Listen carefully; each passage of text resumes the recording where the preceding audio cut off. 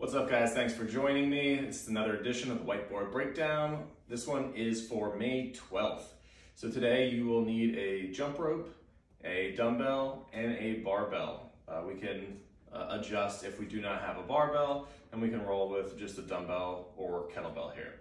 Uh, to start off with our warm-up, we have three rounds. First starting off with 25 double unders. If we do have three rounds, so if we don't feel comfortable yet with double unders, just knock out 25 to 50 singles, just getting the body moving, getting the blood flowing a little bit. Next we have 10 glute bridges. So on our back, pushing through our heels, squeezing our glutes, knocking out 10, just getting our glutes nice and active. Right after that, we have five squat jumps. Again, we have three total rounds. So if this round, we just wanna knock out some squats and get our ankles, knees, and hips ready to roll, you can. And on the second time through, we can hit those squat jumps. Then we have single arm presses. So we're just gonna pick up that weight, knock out five presses on each side. If we don't have a lighter weight for our first round, then we can just rock an odd object or something just to get that range of motion working. Uh, after we finish our first round, again, we'll go through two more for three total rounds. Uh, then we're gonna move on to our accessory work. We need a little arm pump in today. Just like our warm up here, we have three rounds. First one, we're gonna be doing rows. So you have a few different options for your row. We can either do a bent over row. From here, rowing my elbow to the bottom of my rib cage. I'm gonna do uh, my nine, uh, and sorry, it's gonna be a tempo. So as I row, I'm gonna go nice and slow and controlled on the way back down.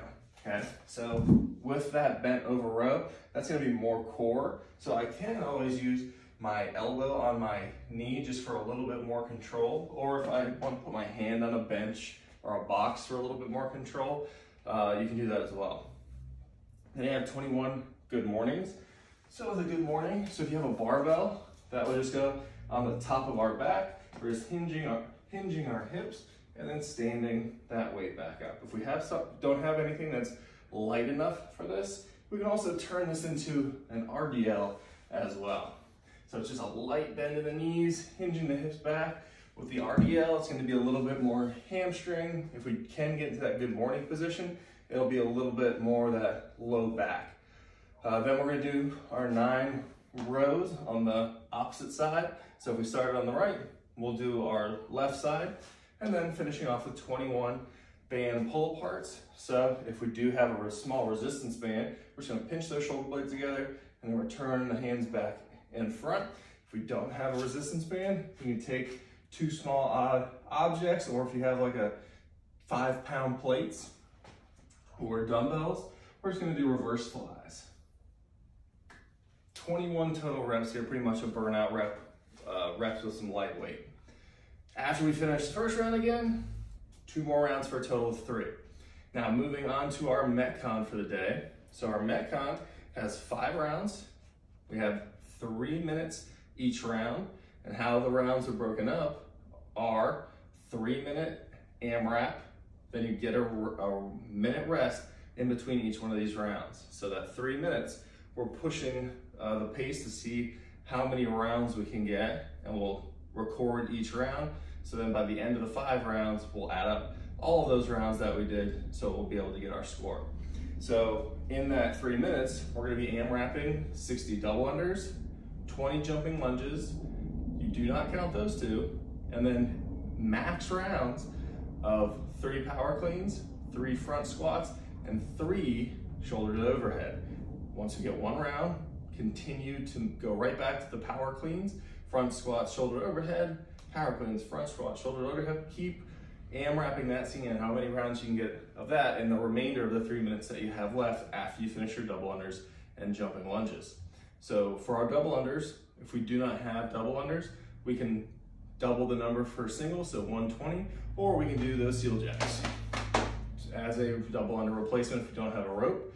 And then our jumping lunge, it's step back and then switch mid-air. And if we don't have jumping lunges, you can just do a step back. Just make sure we get uh, 10 and 10.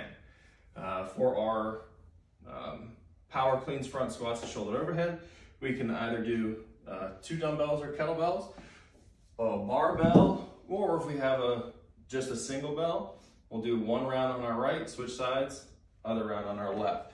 So I only have one bell with me, so I'll demo that. So we have our power clean starting from the ground into that power position, back down to the ground.